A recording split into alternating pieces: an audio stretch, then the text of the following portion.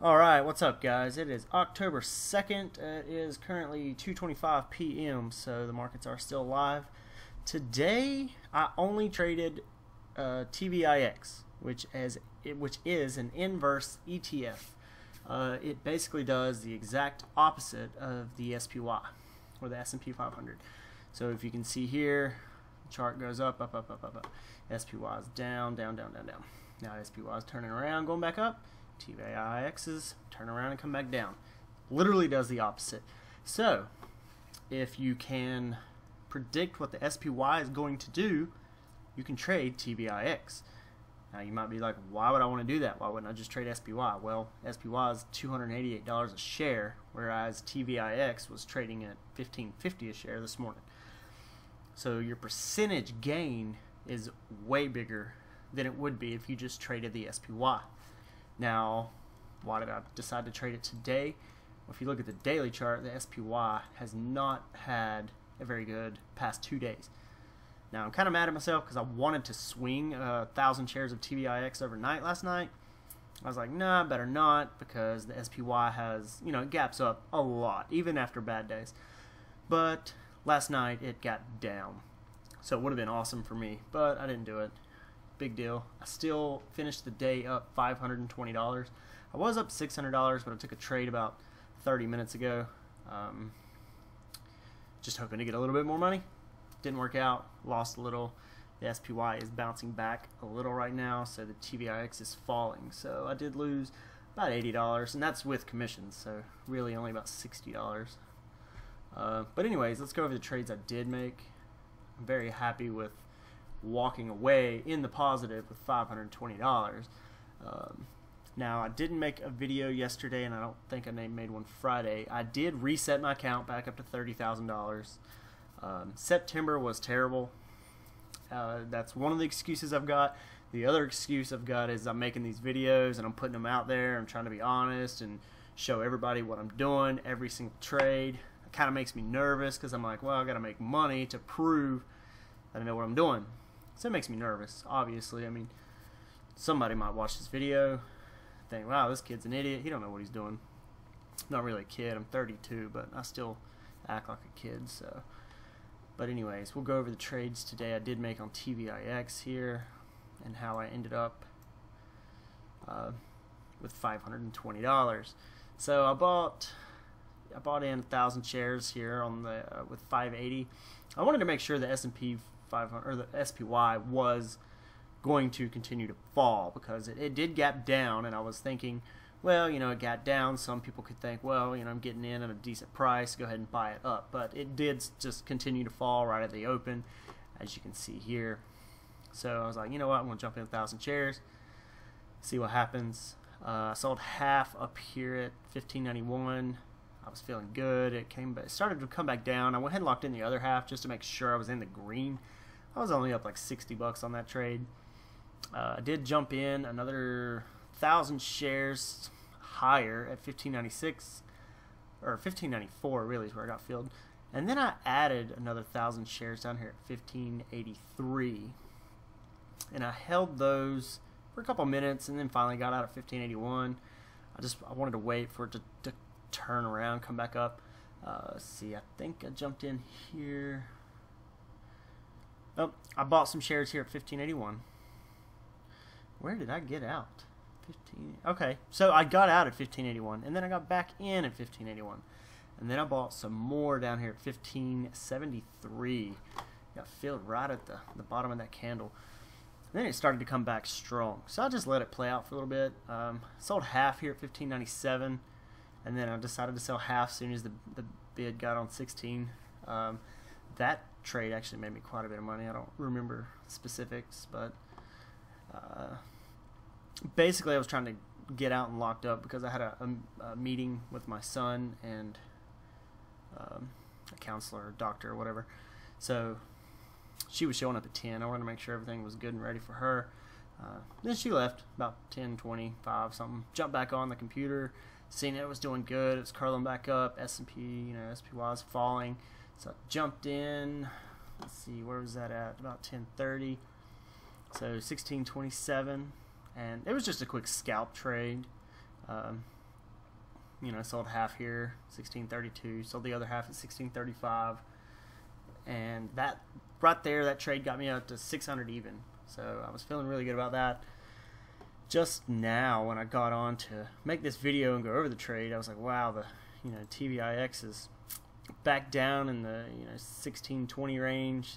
Figured I'd pick up a thousand shares and see you know if I can make a couple, maybe an extra hundred dollars. Let's see, I think what 16 yeah, 1648. I got in and it started to fall. And I went, well, you know, I'll pick up another thousand down here, 1637, and maybe catch it on a bounce. I did sell half up here at 1645, which, you know, that that made me like 50 bucks because you know from the difference of these two averaging out, it was on you know wasn't that high up.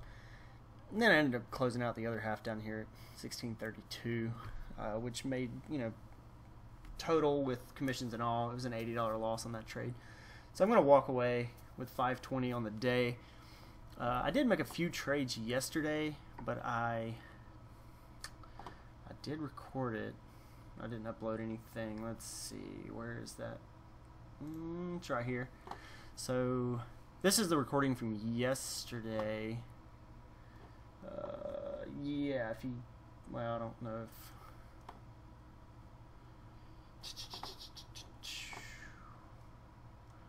Let me see. Close that. See if I can move this video around. Alright, there we go. Now let's stretch it out so it'll be bigger. I want to make sure I'm within the recording uh, software space here. Alright, so I did take a, uh, uh, trade on VIVE yesterday. I think I, in, I locked in up $450, but after trades, uh, I did try to you know get in again. Lost. I think I closed at $110 with commissions and all. It was like a $30 day. Nothing to brag about. Uh, had a really busy day. Took my son to see my mom. Uh, let him run around a new farm that she had purchased. So, but well, I'll let you watch the little video of here me getting in, making a couple trades on this. I'll fast forward a little bit. Um, you can see up here in the corner it says $130,000, but it says that until you get your first trade. So you, it jumped to 30,000 and then um, wow, it started to say I was in the trade before it actually said I was in the trade, which is weird. Uh, the first trade I take on it, I think I did lose uh, like 100 and something dollars. It kind of spikes up and then comes down and curls around. Uh, let's see, jump forward 30 seconds. See, okay, yeah, I locked in 220 in the negative.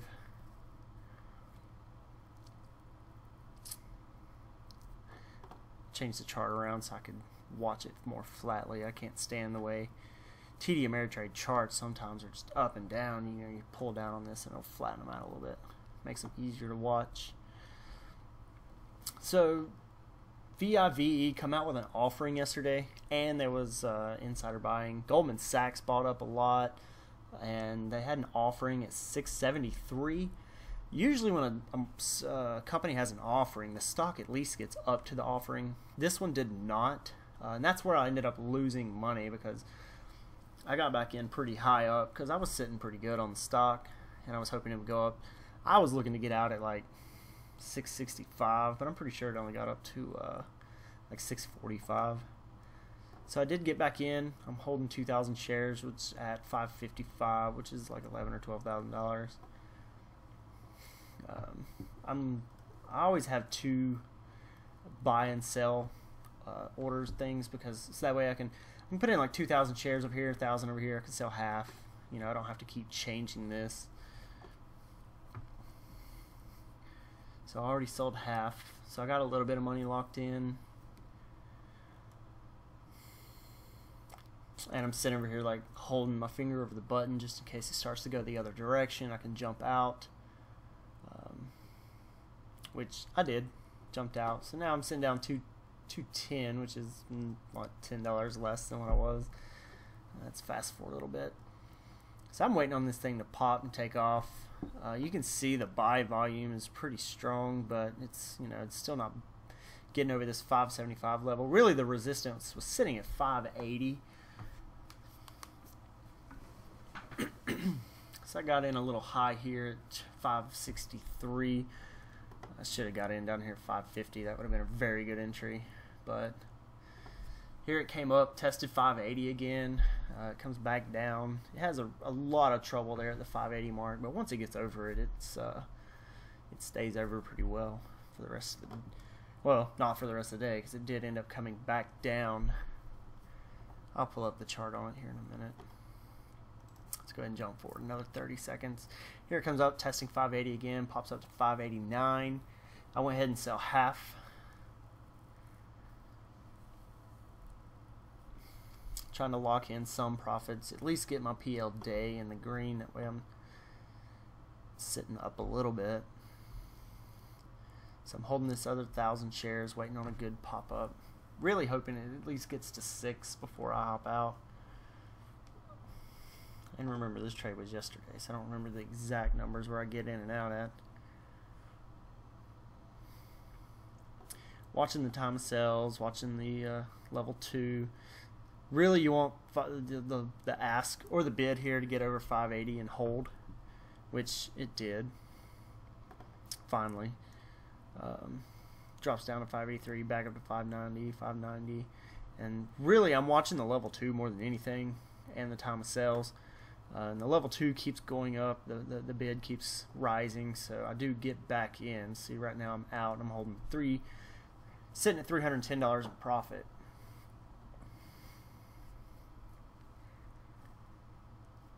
So I'm still watching the level 2. I'm waiting to see if it's going to get over 6 and hold over 6, really because then it's over you know a new whole dollar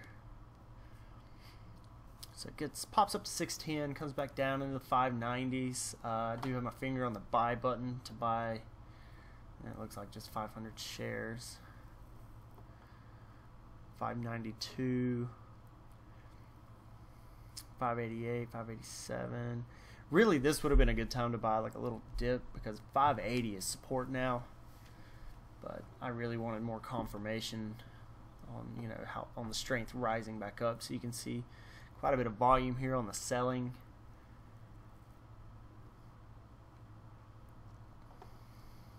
top forward 30 seconds here alright so I put out a bid to buy a thousand shares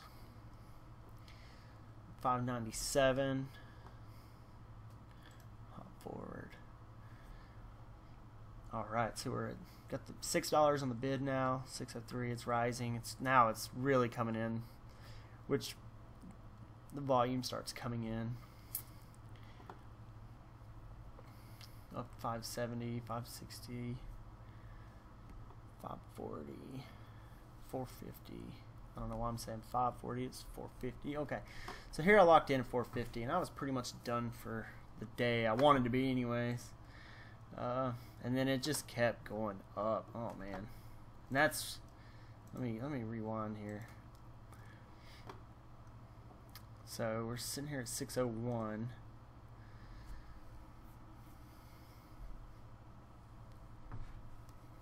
Why didn't I sell at 620 when I was up $500?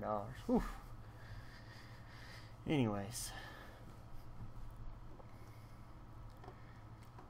And FOMO, FOMO, I have a really bad problem with it because I'm a I'm a new trader, trying to hone in skills and perfect handling my emotions. FOMO is really hard to get over because if you remember when I was in this trade just a second ago, when it tapped 620, I was at $500. So now I'm thinking I'm sitting with $450 of profit, but it could have been 500. Now at 635 could have been 600. And it pops up to 640. 6. Oh, man.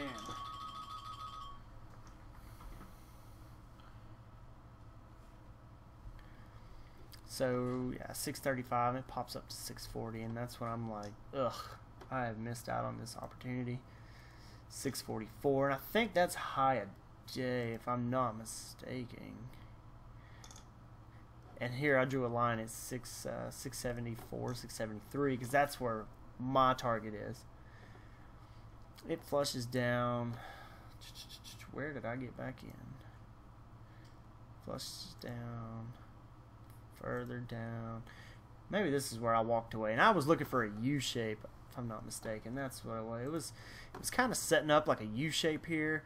And I remember my mentor was talking about it. Oh, it could be setting up a U shape, could be setting up a U shape, and he was going to put an order down here at 580. And then at the last second, he's like, "Well, I'm going to cancel that order because every stock that has done this in the past couple weeks have failed. They've gapped up. Pre-market looks good, goes up a little bit during the day. People take their profits, and then the rest of the day it falls. Uh, as you can see, I'm holding 500 shares now at 611, so like right in this range here. Uh, I get filled another 500. Now my average price is 608, which is about right where it's at. Should have sold here, but I'm waiting on that U shape to play out. And if I'm not mistaken, this is where it flushes down. We'll just let this play out for a second.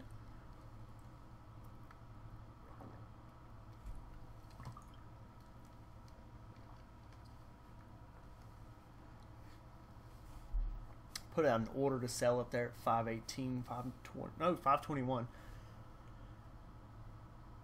Does not get filled. Drops pretty hard there, and then it drops even harder. Put out a sell market order, boom. Now I'm only up $510 on the day. $18 over here after commissions. So if you look over here in the corner, $30,000, $18. And that's where I walk away with $18 of profit. Today, my account's sitting at $30,317. So after this, after the commissions on the 520 I made today, we're only at 318. Starting tomorrow, though, from what I understand, TD Ameritrade is going to be offering free commissions trading. So I have to look into that. Uh, I don't know if that's going to we'll factor in on the paper trading account here. But anyways, that's my trades for today. Uh, I'll be back at it tomorrow. Hopefully we have a better day tomorrow. Uh, there wasn't really anything going on in the market today. The only thing I had on watch, let's look at TVIX right now. It's down. Oh, no, don't do that go ahead. Yep, SPY's going back up. So the only penny stock we had on market today was IMRN. It uh, had a like a contract with a military, I think. Let's see what the news says here. Hmm. What the hell?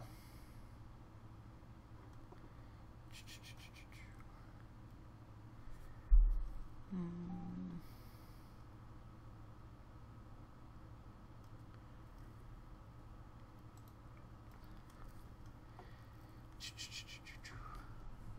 Funding for new research, medical research center. Maybe this is the news that we seen this morning. Yeah. So, anyways, it had a very good gap up, and but it looked weak in volume pre-market. I wasn't even watching it really. Uh, my mentor was watching it. He was talking about it. If it popped over 370, we'd have maybe an opportunity run up to four dollars. But here on the daily, what was I looking at here? I don't know. I just wasn't inter- interested in it. It looked light on volume. It was choppy here in pre-market. It didn't look like a lot of people were really getting in it. This first run up was really uh, people just buying it as soon as the news came out. Didn't look like a lot of other people were hyped for the news and as soon as it opened, it fell. I honestly was already watching TVIX. I knew I was already going to jump in on it, so I didn't even watch it. And that was the right thing to do today because it just flushed down, didn't do anything. Uh, didn't watch the high day Momo scanner. Just uh, I did miss one trade. I probably would have liked to get on, get in on, but even here in the morning, it was really light in volume. This first pop up where it got halted was on. That can't be right. 3,300 shares. 3,300 shares. Yeah, I don't know. Ross Cameron from Warrior Trading said he jumped in this. I don't really understand how it was only 3,300 shares because I think he said he got in with like nine grand or 9,000 shares, but I don't know. I don't know how it all played out. I probably wouldn't have traded it because the volume was so light. But anyways, that's my trading for the day. I'll be back at it tomorrow. Thanks for watching.